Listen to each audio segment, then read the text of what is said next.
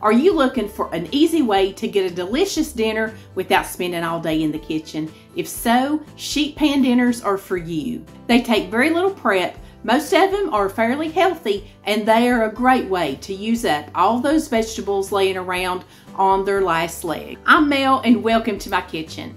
Just sit back, relax, grab you a sweet tea, and I'm going to show you all the tips and tricks I've learned about sheet pan meals and I'm going to show you some that are anything but ordinary. We're going to start with the very classic, quick and easy chicken and veggie sheet pan meal. This is wonderful to use up any vegetables that you have that may be about ready to go bad Great way to use up all those odds and ends and season it however you like. And I'm already behind the gun here. It was getting late, so I'm going to do my potatoes in the microwave. I've just chopped them up, put them in a microwave safe dish, coat them in a little bit of oil, season them with some Auntie Nono's, which is salt, onion powder, and garlic powder. Give them another good toss, put some butter on top of them.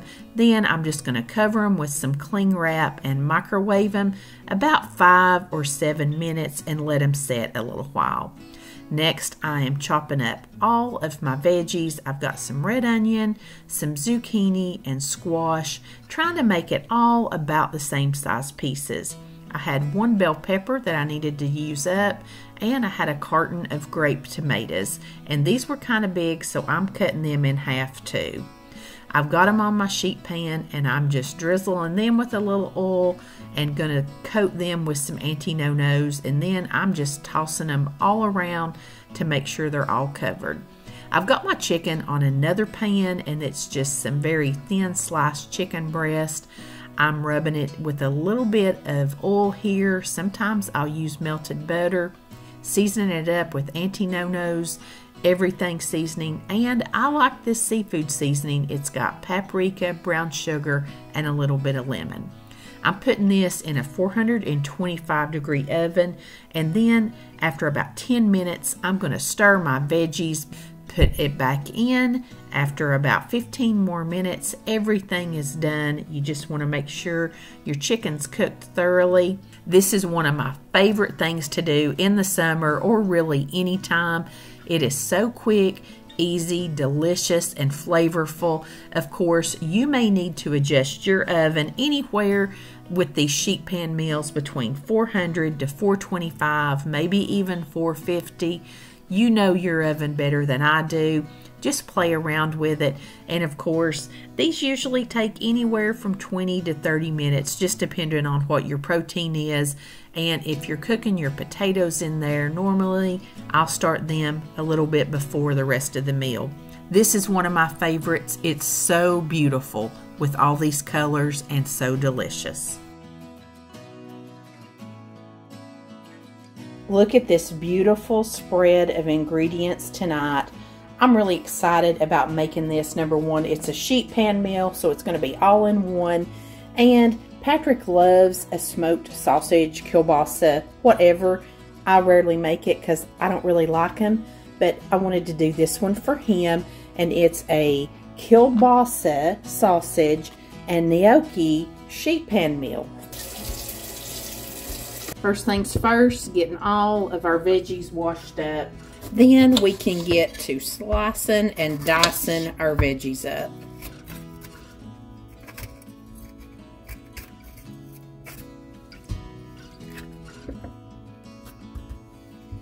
I'm just taking two bell peppers and I'm just slicing them in about one inch pieces. This is a tip I shared in my last video, but I'll share it again. If you will rinse and then dry off your onions after you slice them, they will really not burn your eyes as much. That was a little tip that my mom gave me. And I'm just doing about half of this little red onion in slices about that big. I'm going to go ahead and cut my little cherry tomatoes in half. These were oblong and really big not the little small ones I normally get. This recipe said to take a 14 ounce smoked sausage and cut it into six pieces. I think mine ended up being about 12 ounces, but I think I'm also going to slice these in half. I have been enjoying sheet pan meals so much, I bought me a gigantic sheet pan. I'll put the measurements up on the screen. I actually got this at Ollie's discount store. It's made by Baker's Secret. Sometimes it's a little lightweight and it'll kind of like bump up on one end when it's in the oven. But hey, it gets the job done. And I'm putting some parchment paper down. Normally, I buy this on the roll, but last time it was these reusable, it says, parchment pre-cut sheets. So it takes two of them. And that's just for easy cleanup for me. I'm sure if you didn't have parchment sheets, if you just took some aluminum foil and sprayed it down, it would probably work just as well. I've got a 16 ounce container of this potato gnocchi. If you've never used this, you find it around where pastas and things like that are in your grocery store. This recipe called for two 14 or 12 ounce, but I'm just using one 16 ounce container of it. Now I'm putting my peppers and onions, the tomatoes too. And you don't have to be real precise yet. We are going to mix it all up again. I'm going to throw a couple little spoonfuls of some minced garlic in here. Now I'm just taking a nice drizzle, probably about two tablespoons of olive oil, getting that all across the top. Then I'm just gonna mix it all up. Wanna make sure everything's got a little bit of olive oil on it. You could definitely do this in a bowl before you even put it down here to spread it out, but I'm just going for easy cleanup tonight me and Maddie and my mama are going to see the new Little Mermaid tonight. you don't ever get too old for stuff like that. I can't wait. Now that I've got it all coated, I am going to go ahead and hit mine with a little bit of salt and pepper. The recipe kind of waits to the end to do this, but I want some on it now. Now we're taking our sausages and we're just going to lay them right across the top of all of our veggies. My rosemary sprigs are nice and big, so I'm actually going to break them in half and I'm just going to lay them right down in here. And I'm going to put this in the oven for about 25 minutes. And then I'm going to stir it about halfway through put it back in and let it finish cooking off. Now we're just going to take some fresh spinach. This is not baby spinach. It's a little bit bigger leaf, but it'll be fine. We're just going to put this over the top, spread it out evenly. I'm going to grab my rosemary out of here too. I forgot about that. Another thing I forgot to mention was that if you're using frozen gnocchi, don't thaw it before you get started just leave it like it is and it works out fine. I'm gonna go back in the oven for about two minutes. Now we are gonna stir it right back up. This smells so good and it looks so pretty. I'm gonna give it another little dose of salt and pepper. Y'all thought I forgot about that fresh basil, didn't you? Got it all kind of chopped up and I'm going to sprinkle it on. Then I'm taking a little bit of shredded Parmesan cheese, sprinkling it all over the top. Look how beautiful the colors are when this is all plated up. This is gorgeous. Let me get some spinach, tomato, and a little piece of this bell pepper. And let's try gnocchi too. See if I can get all that in my mouth. Mmm, that's a good flavor. Be careful that you make sure and get all your gnocchis covered good with oil because I have a few that are kind of toasty. And I don't like this, or I haven't liked this. But I'm going to try this piece of sausage here. See if my taste has changed. It ain't my favorite. it's good. I mean, like, it's a good flavor It's a texture thing for me. I'm just not crazy about it. But it has a good flavor. If you like sausages, you'll love it in here.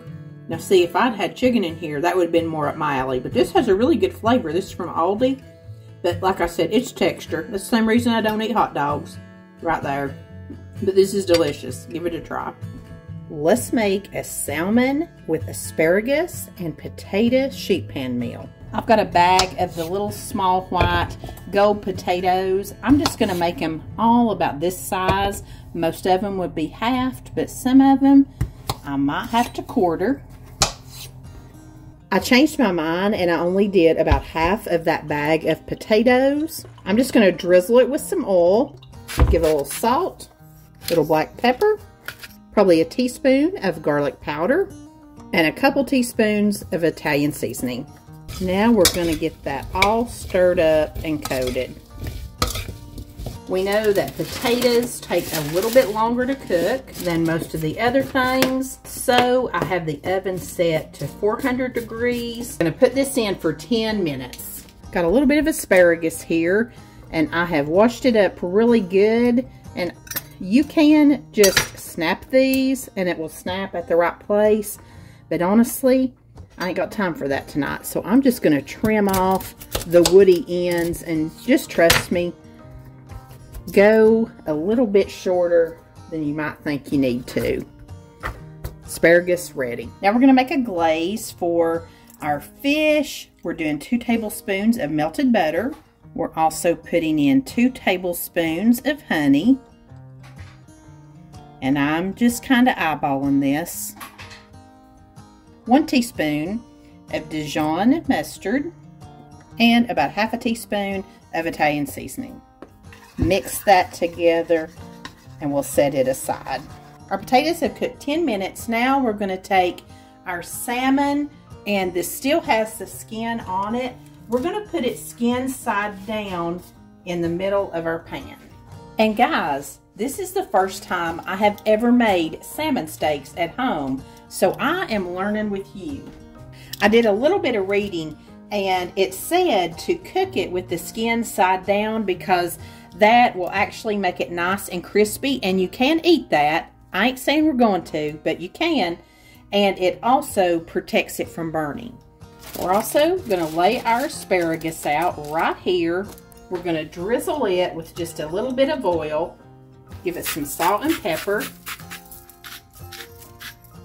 Now we're going to take this beautiful honey, oil, butter, mustard mixture and put it right across the top of this fish. You can see those pretty Italian seasonings in here. Another thing I learned about salmon, which if you've seen it cooked, you know it's still red even when it's done. So the way that you know it is done is whenever you touch it after it's cooked with the top of your fork or maybe your hand and it begins to flake at these little white places, kind of where it comes together. You know it's done. Also, you cook it to an internal temperature of about 145 degrees. And I'm using all of this sauce because I think it's fine if it gets a little bit over in your veggies. That would be good. And one more thing I'm going to do is just take a little bit of lemon juice and douse my asparagus and maybe just a little bit on my fish because I forgot to buy a lemon. Now we're going to put this back in the 400 degree oven for 15 minutes. Okay guys, I don't think this is too bad for my first time. I'm going to go in this thickest part that I can find right here. Definitely it's done. It's probably way overdone, but I followed the instructions. But this white stuff, I'm not sure how you say this. It's A-L-B-U-M-I-N albi albium. I'll put the albium. Albumin. Albumin. This is called albumin. I'll put that word up on the screen for you. But this is just a protein in the salmon and it solidifies as it cooks and comes out. So I'm glad I read that because that would have worried me. But anyhow, I'm telling y'all this like you don't know. This is my first time cooking it. Y'all probably know this, but hey, if there's another first timer out there, that's just a little tidbit for you. Let's plate it up. You can see it's flaking just like what I read said it would. Okay, first things first, I know I'm going to love these. Also love asparagus. I'm going to try me a bite. I have eaten a bite or two of salmon. It's been a long, a long time ago. I honestly don't remember if I liked it. So let's see what we got. That is very, very good. I am pleasantly, pleasantly surprised. And I'm not going to eat the skin this time. I think this venture is enough for me. That is delicious. I'm so excited with this and so proud. You guys just inspire me to try cooking new things that I've never cooked before. 51 years old, it's my first time ever making like a salmon steak. I don't know why I waited so long. I have one more tip before we hit my most favorite sheet pan meal of all times, and that is do not overlook these packets in your grocery store. There are so many varieties. McCormick's does a great job. They have about four of these different things right here. This is one of my favorites. They've got one for pork chops too. They've also come out with these one skillet ones. But you know what? All these things, they're just seasonings. You can mix them and make dressing, or you can just use it as a seasoning pack for veggies, chicken, beef, whatever you like. So be creative, and these are super cheap. Y'all know I am all about a quick, cheap, and easy way to get dinner on the table, and I have no shame in my packet game. Now let's make a creamy chicken sheet pan dinner. The great thing about sheet pan dinners is you don't have a lot of active cooking. You chop up your ingredients and you're not stuck over the stove flipping things in a frying pan. I'm chopping up some broccoli and some red potatoes, and I'm going to use two different sheet pans tonight. I have my broccoli and some very thin sliced chicken breast on one pan, and this sheet pan meal also has a wonderful sauce. We're going to mix up one can of cream of chicken soup. We're going to put in just a little bit of minced garlic and I'm going to sprinkle in maybe a teaspoon of dried parsley flakes. Also going to add in about a third a cup of Parmesan cheese and get it all mixed up. Now we're going to start seasoning everything up. We're going to start out by just drizzling a little oil over everything. And I'm using two pans here. If you don't have a huge pan, that is perfectly fine. Use two smaller ones. As a matter of fact, in this meal, it worked out better because you know potatoes do take a little bit longer. So I can cook them a little bit longer or start them sooner if I need to to make sure everything's done about the same time. And I'm just seasoning everything with some black pepper and some of my Auntie Nono's. Then we're going to put that sauce over our chicken breast and use every bit of the sauce, even if you think it's more than enough. It's going to cook down and it's wonderful to dip your vegetables in. I'm going to put both these in the oven at 425 degrees for about 20 minutes. And I did broil my chicken just to get a little bit of brownness on the top. But this sheet pan dinner has all the comfort, cozy, home cooked vibes, that sauce or gravy, if you will. This does not feel like a regular sheet pan meal. This feels like a good home cooked meal. I love my broccoli charred just a little bit, so the little bit of broil on it was just perfect with me. If you're enjoying tonight's video, I would love it if you'd give it a big thumbs up. Let me know in the comments what was your favorite meal of the night and are sheet pan meals something that you cook a lot of, or is this kind of a new thing to you? I've only really started doing this in the last few years, but I tell you, I really, really love a sheet pan meal. Thank you so much for watching this week. I appreciate the time that you set aside every Sunday to spend with me. I'll see you next week. Until then, I send you love from my kitchen.